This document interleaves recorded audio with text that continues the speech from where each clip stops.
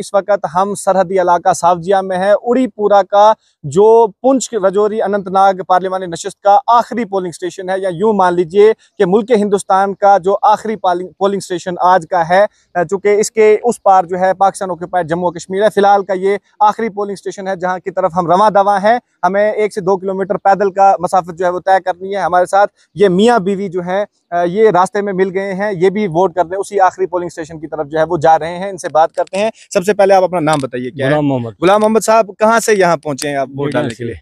नेडिया से थोड़ा camera man दिखाएँगे। ये नेडिया का इलाका है जो बिल्कुल दूर अगर आप एक जियारत देख पा रहे होंगे जूम करके बताएँगे। ये एक ढोक है यहाँ से ये दो किलोमीटर पैदल सफ़र करके यहाँ पहुँचे। यहाँ से भी अभी हमने तकरीबन एक से दो किलोमीटर जो है वो आगे और जाना है। गुलाम मोहम्मद साहब ये बताएँ कि आपके इलाके में कौन से ऐसे काम आप चाहते हैं कि हों डेवलपमेंट के? क्या जहन में सोच के आप आज वोट करने जा रहे हैं? वोट करने जा रहे हैं हम इसलिए कि हमें पेंशन बढ़नी चाहिए। ठीक।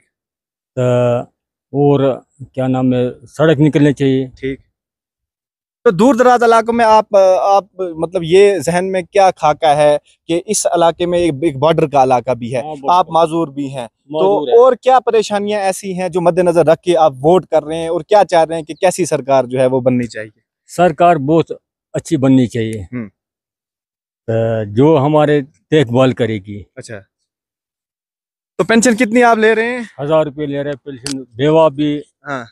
भी मैं हैंडीक्रेफ हूँ। अच्छा। तो बुढ़ेपा भी हम्म। हज़ार रुपये टोटल टोटल ले रहे हैं सब मिलाकर। अच्छा। तो वोट के हवाले से आपको आगाही है कि क्या आपको पता है कि वोट आप कर रहे हैं? तो आपके वोट की क्या अहमियत है क्या ताकत है? अहमियत ये है कि हमें मिलने चाहिए कुछ न कुछ न कुछ। अच्छा।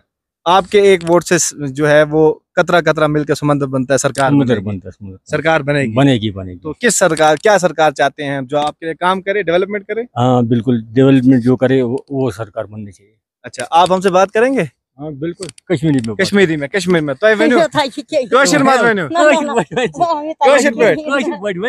तो ये हमारे साथ जो बासठ साल के गुलाम मोहम्मद साहब हैं इनकी अहलिया भी यहाँ पर मौजूद हैं। हम इस वक्त उड़ीपुरा जो मुल्क हिंदुस्तान का या जो Anantnag, Rajouri, Poonch parliament parliament constituency है, उसका आखिरी पोलिंग स्टेशन है। सरहद पर हम इस वक्त मौजूद हैं और सरहद पर इस तरीके से बुज़ुर्ग, बेवा, माजूर नौजवान अफराद जो हैं, वो वोट के लिए जा रहे हैं पोलिंग के लिए जा रहे हैं, जो संकेत है, जो इशारा है कि जो राजौरी अनंतनाग पार्लियामानी सीट है, उस पर पोलिंग शरह जो है, वो काफ़ी ज़्यादा रहेगी और इस उम्मीद के साथ कि और भी रिपोर्ट्स हम आप तक पहुँचाएँगे और क्या डाटा सारा रहेगा वो भी हम पहुँचाएँगे। लेकिन फ़िलहाल उड़ीपुरा, जो आखिरी पोलिंग स्टेशन है वहाँ की तरफ़ हम गामजन है, वहाँ से भी हम आप तक रिपोर्ट्स पहुंचाएँगे। देखते रहे पुंछ टाइम्स पुंछ टाइम्स के लिए सरहद से वसीम हैदरी।